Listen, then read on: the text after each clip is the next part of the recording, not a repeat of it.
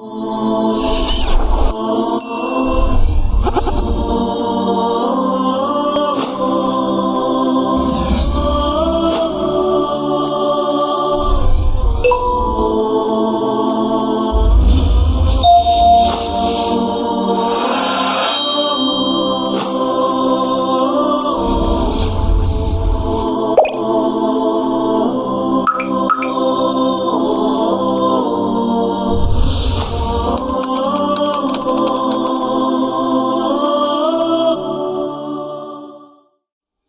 أعوذ بالله من الشيطان الرجيم. بسم الله الرحمن الرحيم. الحمد لله رب العالمين وصلى الله على سيدنا ونبينا محمد وعلى أهل بيته الطيبين الطاهرين واللعن الدائم على أعدائهم أجمعين. أعوذ بالله من الشيطان الرجيم. ان الانسان خلق هلوعا اذا مسه الشر جزوعا و اذا مسه الخیر منوعا آیات 19 تا 21 سوره مبارکه معارج. به درستی که انسان طبیعتا این گونه است. و هوای نفس او اقتضا می‌کنه و این گونه خلق شده که حریص به جمع مال دنیاست. اگر ضرری خسارتی فقری به او متوجه بشه به جزع و فزع می‌پردازه بیتابی می‌کنه. و داد و فریادش بلنده و اگر امر خیری به او رو بیاره نفع و استفاده ای پیدا بکنه منع حقوق الهی می‌کنه. و به اصطلاح بازاری نم پس نمیده. و حالان که خدای متعال به فرمایش آقا امیر المؤمنین صلوات الله و سلامه علیه روزی فقرا رو در دارایی ثروتمندان قرار داده اون حضرت میفرمان که خداوند منزه در دارایی های ثروتمندان روزی های فقیران را قرار داده. بنابراین نیازمندی گرسنه نماند مگر در اثر امساک و ندادن ثروتمندانه و خداوند متعال اونها رو از این کار بازخواست خواهد کرد. مورد سوال قرارشون میده. ان الله سبحانه فرض في اموال الاغنیاء اقوات الفقراء. فما جاء فما جاء فقیر الا بما منع غنی والله تعالی جده سائلهم عن ذلك. لذا ثروتمندان نسبت به فقرا مسئولیت دارند. و اگر نسبت به مسئولیت خودشون عمل نکنند مورد سؤال الهی واقع خواهند شد در روز قیامت و باید پاسخگو برای اون روز باشند. در این سه تا آیه شریفه طبیعت انسان حلوع بودن حریص بودن وقتی خیر بهش می‌رسه خیرش رو از دیگران منع می‌کنه. وقتی بهش شر می‌رسه و سختی می‌رسه و فقر می‌رسه بیتابی می‌کنه. طبیعت انسان این گونه است. خدای متعال در قرآن صفاتی رو به انسان نسبت میده و این صفات رو مذمت می‌کنه. ممکنه سوال پیش بیاد. اگر این صفات صفات خدا دادیه چرا پس خدای متعال این صفات رو نکوهش می‌کنه در قرآن؟ در ضمن آیات بعد که محضر مبارکتون عرض می‌کنیم که دنباله این آیاته اونجا خدای متعال میفرماد درست ما این صفات رو به بشر و انسان دادیم. اینها لازمه وجود زندگی دنیایی یک انسانه. این صفات اگر مدیریت نشه و تدبیر نشه بسیار صفات بد و اسباب نکوهشه. اما اگر این صفات مدیریت بشه برای بقای بشر لازمه فرمودن انسان سه تا دشمن داره. دشمن اول انسان دنیاست که خودش رو در نظر انسان جلوه میده. ساختمان های زیبا ریاست های بلند مرتبه ثروت هایی که انسان به چشم ظاهری جلوه اونها رو مشاهده می‌کنه. ولی چشم باطنی و چشم قلب گاهی نابیناست و ضررهای او رو درک نمی‌کنه که این دنیا به فرمایش آقا امیرالمؤمنین علیه السلام مانند یک مار خوشخط و خاله که ظاهرش نرم و فریبنده است ولی باطنش سم مهلکی قرار داده که انسان رو به واسطه او می‌کشه. آقا امیر المؤمنین صلوات الله و سلامه علیه به ابن عباس فرمودن تمام ریاست دنیا و زینتهای اون در نظر علی سلام الله علیه مثل یک گوشت گندیده است تو دست یک بیماری که بیماری واگیر داره که علی هرگز رغبت به او نداره.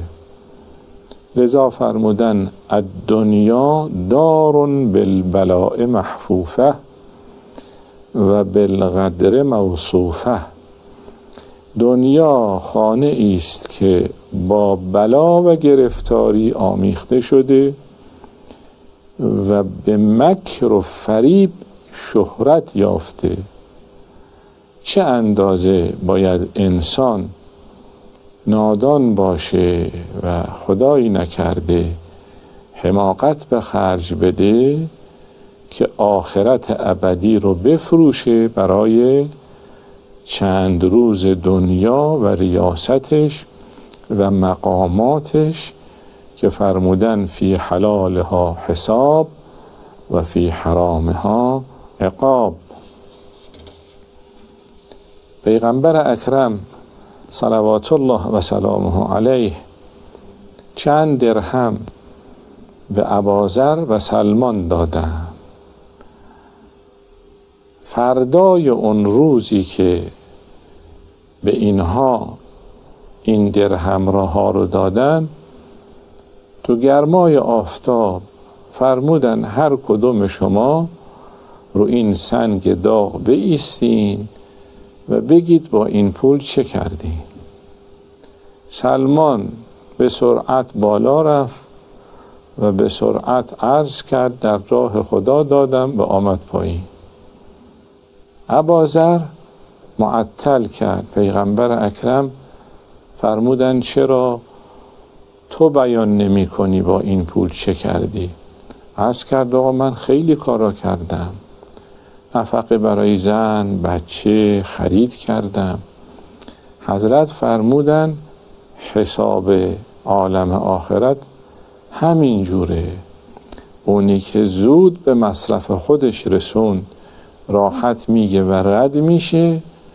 اما کسی که حتی در راه حلال خرج کرده مورد سوال واقع میشه و زمان می‌بره. لذا فرمودن وای بر کسی که با دینه به دنیا. انسان دین خودش رو بفروشه در مقابل دنیا. از این بدتر من با دینه به دنیا غیره. کسی که دینش رو برای دنیای دیگری بفروشه او دیگه واقعا خسارت و زیان فوق العاده ای دوم هوای نفسه که دشمن انسانه که پس از جلوه های دنیا نفس مایل میشه علاقه پیدا می‌کنه. جایی که مثل حضرت یوسف علی نبینا و آله و علیه السلام میفرماد و ما ابرع نفسی ان النفس لامارة بالسوء الا ما رحم ربی. نفس انسان رو به بدی امر می‌کنه مگر اینکه خدا به انسان رحم کنه. آیه پنجاه و سه سوره مبارکه یوسف علیه السلام.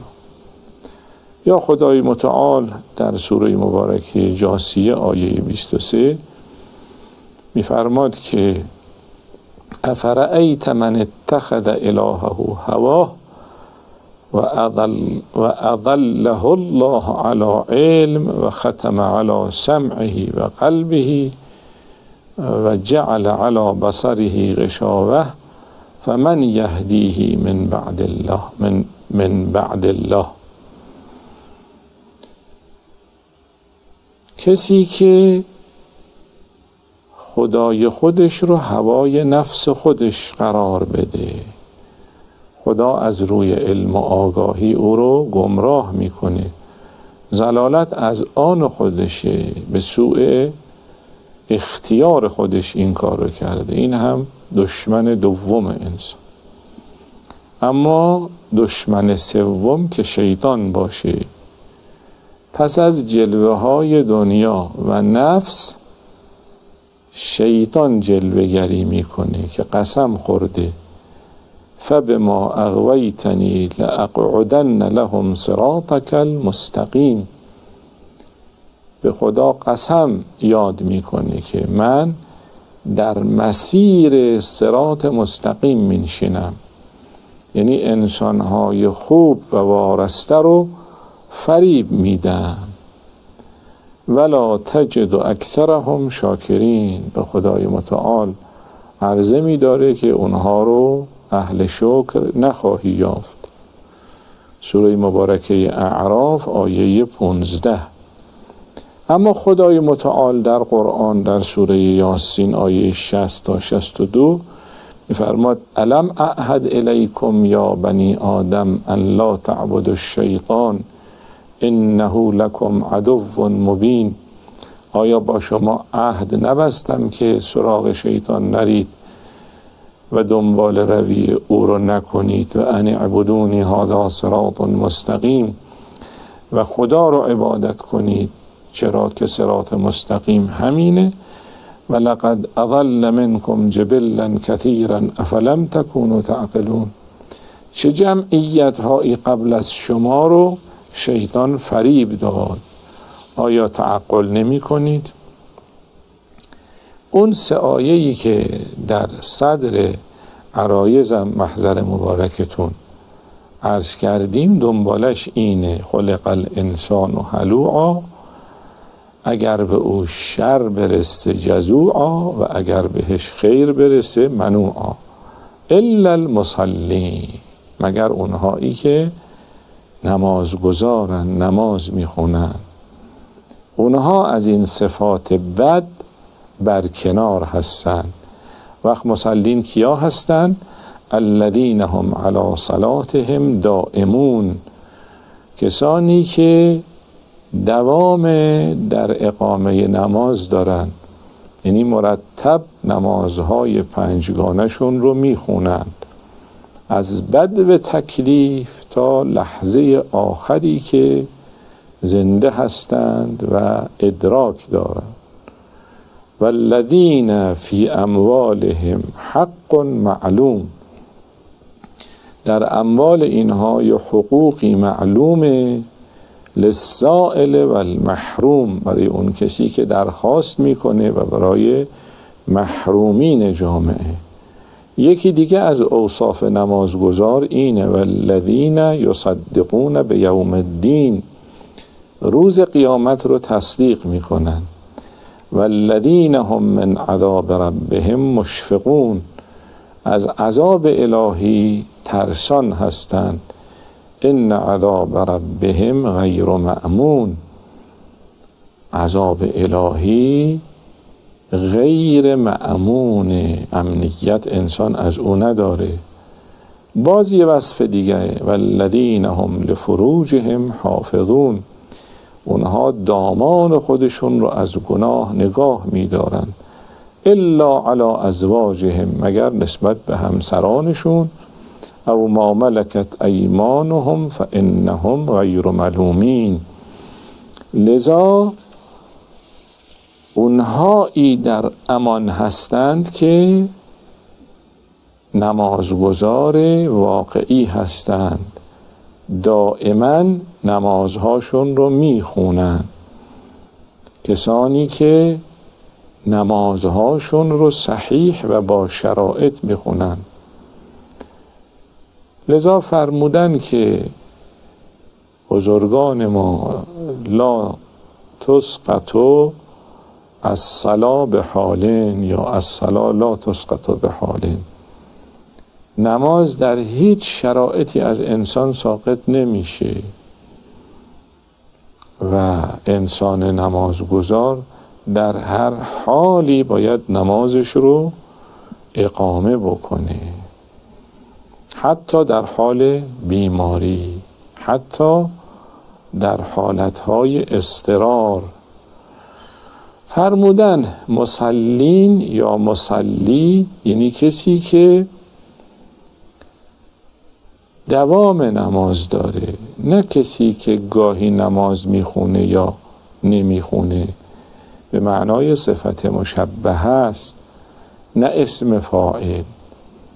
مسلی کسی که همیشه نماز می‌خونه دائم نمازهای واجبش رو انجام میده.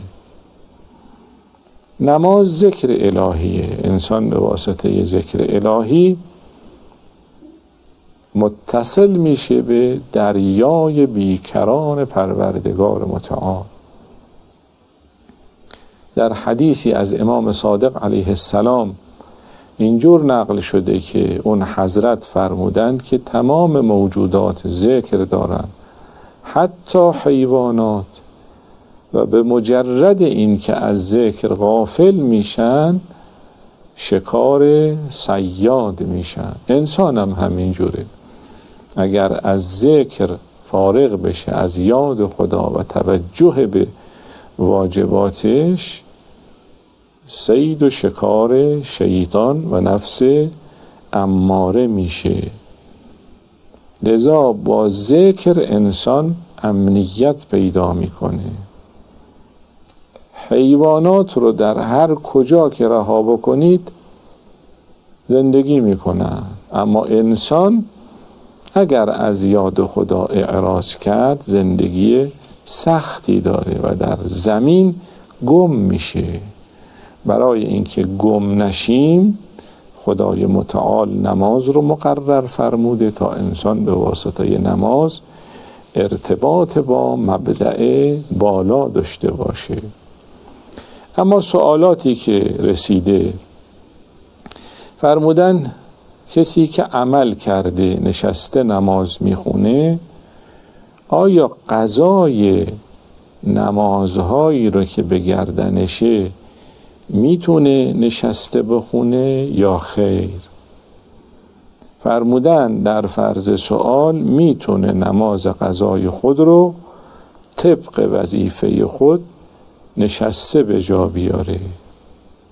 بله بنابر احتیاط مستحب قضا رو بگذاره هنگامی که سلامتیشو به دست آورد اون وقت قضا بکنه و الا جایز احتیاط مستحب. سوال بعدی فرمودن آیا نماز قضا رو در هر موقع روز میشه به جا آورد؟ یا در اوقاتی که نماز واجبه؟ فرمودن نماز قضا رو در هر موقع از روز می‌تونیم انجام بدیم. فرمودن من حدود چهار سال پیش به سن تکلیف رسیدم و نمازهای قضای زیادی دارم.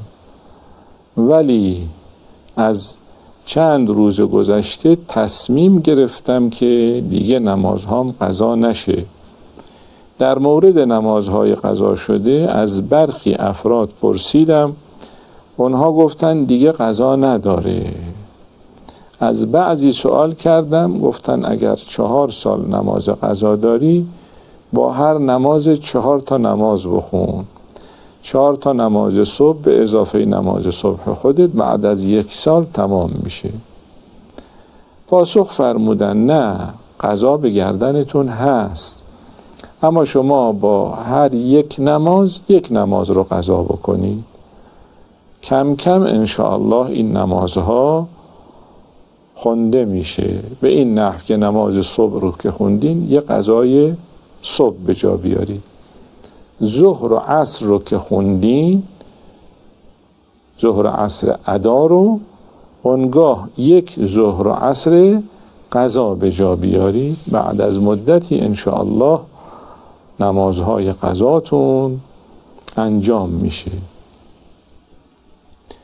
سوال بعدی فرمودن که پدر این جانب حدود دو سال و نیم پیش در راه سفر کربلا دچار سکته مغزی شدند. به نحوی که باعث فلج شدن بیشتر اعضای ایشون شده و همچنین اختلال در مغزشون پیدا شده. به نحوی که هوش و حواس لازم برای نماز خوندن رو ندارن و در این مدت نماز هم نخوندن. حالا سوال اینه می‌خوایم بدونیم تکلیف نمازهای قضایی ایشون چه میشه؟ بر عهده پسر بزرگ ایشونه یا خیر؟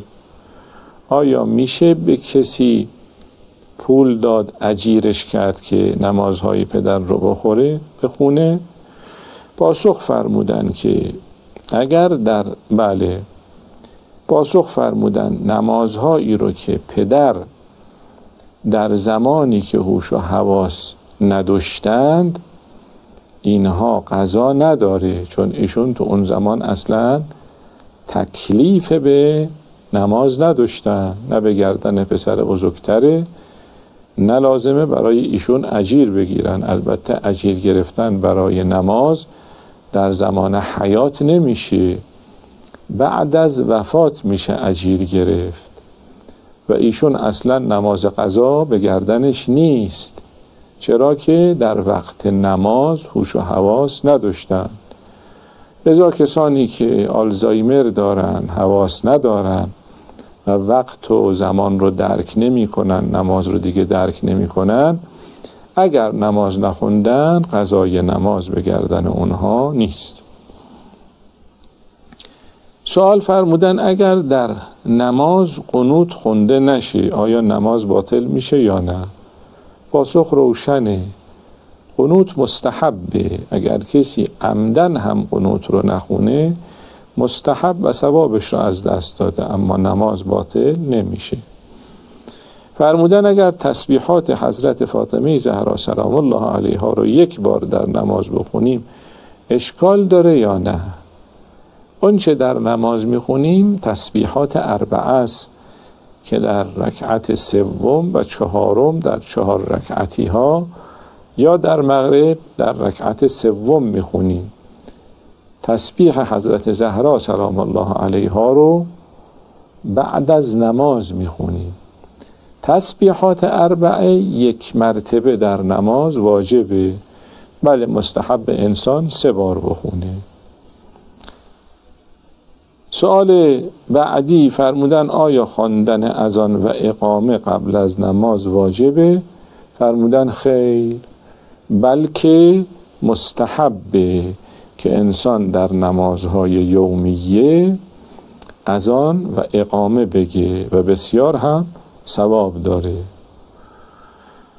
فرمودن کسی که نماز واجبش رو با تیمم می‌خونه می‌تونه نماز قضاشو هم بخونه؟ پاسخ فرمودن اگر تیمم برای تنگی وقت از وضوع یا غسل باشه نه نمیشه. به جهت تنگی وقت نزدیک آفتاب نماز صبح رو نمیرسته وضوع بگیره یا غسل بکنه تیمم می‌کنه. با این تیمم نماز قضا رو نمی‌تونه بخونه. اما اگر به جهت عذر بیماره یا آب براش ضرر داره در این صورت با تیمم می‌تونه نماز قضا بخونه. این سوال تکراریه چون زیاد سوال میشه ما هم تکرارش می‌کنیم. فرمودن آیا از نظر شرعی برای خانم ها کاشتن ناخن جایزه یا خیر؟ فرمودن کاشتن ناخن اگر برای معالجه و ضرورت نباشه جایز نیست. برای اینکه مانع رسیدن آب در وضوع و غسل به ناخون اصلی میشه. فرمودن بعدش آیا می‌توان با داشتن ناخن کاشته شده غسل و وضوع و تیمم کرد و غسل و وضوع و تیمم صحیح یا خیر. اگر می‌تونه ناخن رو برداره باید برداره. اما غالبا نمی‌تونن ناخن رو جدا کنن چون به ناخن اصلی چسبیده و کندنش باعث جراحت و خونریزی میشه. در این صورت وضوعشون میشه وضوع جبیره غسلشون میشه غسل جبیره. وضوع غسل و تیممشون هم صحیحه. فرمودن که کسی که می‌دونه ناخن کاشتن مانع رسیدن آب در وضوع و غسله و می‌دونه که نمی‌تونه اونو رفع بکنه با این وجود اقدام به کاشتن ناخن می‌کنه. عمل او چه حکمی داره؟ فرمودن در فرض سوال باید تلاش بکنن بردارن. اما اگه نمیشه بردارن غسل و وضوع و تیممشون صحیحه ولی معصیت و گناه کردن. فرمودن اگر انسان در سفر باشه و نیاز به وضوع یا غسل داشته باشه اما آب نداشته باشه و خاک هم برای تیمم نداشته باشه باید چه کار کنه برای نماز؟ فرمودن چنانچه نه آبی باشد و نه اونچه تیمم بر اون صحیح باشه اینو بهش میگن فاقد و طهورین باید با همون حال نماز بخونه بله احتیاط مستحب اینه که هر وقت عذر او برطرف شد قضای نماز رو هم انجام بده. بنابراین کسی که نه آب برای وضو داره و نه خاک برای تیمم. یا چیزی که صحیح برش تیمم بکنه این فاقد الطهورین نمازشو باید با همون حال بخونه و بنابر احتیاط مستحب بعد این نماز رو قضا بکنه. یه سوال دیگه مطرح شده. کسی که نمی‌تونه ایستاده نماز بخونه یا حتی ممکنه نمی‌تونه نشسته نماز بخونه این چجوری باید نماز بخونه؟ در بحث قیام در رساله داریم که هر جور می‌تونه باید به ایسته ولو با تکیه دادن به دیوار یا اصاب دست گرفتن حتی خم شدن به حد رکوع می‌تونه خم بشه. به ایسته واجبه به ایسته. اگر به هیچ شکل نمی‌تونه وایسه. حتی اگر به مقدار تکبیرت الاحرام می‌تونه به ایسته باید به ایسته. قیام متصل به رکوع هم رکنه. اگر در او می‌تونه به ایسته باید به ایسته. اگر در هر فرضی نتونه به ایسته وقت نماز مبدل میشه به نماز نشسته. تو نشستنم تا هر مقداری که می‌تونه بنشینه. اگر نمی‌تونه بنشینه در حال استقرار تکیه بده به یه دیواری به یه عصایی تکیه بده و بنشینه. تا می‌تونه نشسته بخونه باید نشسته بخونه. یا حتی به هر مقداری که می‌تونه نشسته بخونه باید همون مقدار رو نشسته بخونه. اگر اصلا نتونه نشسته بخونه وقت نوبت به خوابیده می‌رسه. وقت تو خوابیده اگر کسی می‌خواد نماز بخونه ابتداعا باید به سمت راستش بخوابه مثل میت رو که توی قبر می‌گذارن. اگر نتونست به سمت راست بخونه به سمت چپ. اگر نتونست به سمت چپ به پشت میخوابه پاها به سمت قبله باید باشه. و اگر هیچ کدوم از اینها حاصل نشه حتی به پشت به سمت قبله هم نتونه پشت به قبله باشه. به هر شکلی که می‌تونه باید نماز رو بخونه. نماز در هیچ حالی از انسان ساقط نمیشه. حتی انسانی که داره غرق میشه.